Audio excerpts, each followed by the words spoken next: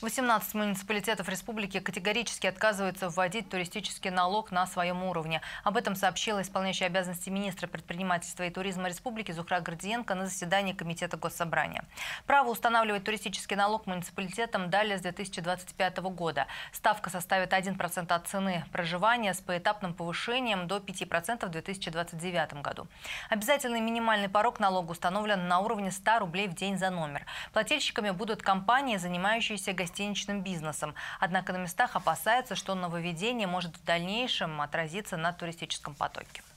Того потока, который мы ожидали, может быть и не быть. Почему? Потому что там входится норма рекомендуемая 100 рублей с человека ежедневно.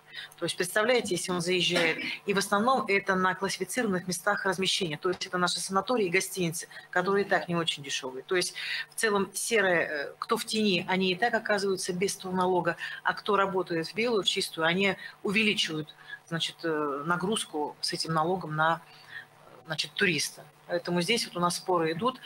Сейчас вошли в рабочую группу федеральную по данному вопросу.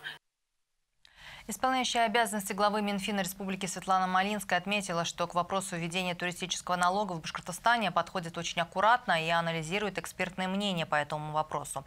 Решение о введении туристического налога уже приняли в Казани, Краснодаре, Ростове-на-Дону, Перми, Архангельске, других городах. А, поступившие средства будут направлены на улучшение городской инфраструктуры, общественных пространств и продвижение туристического бренда.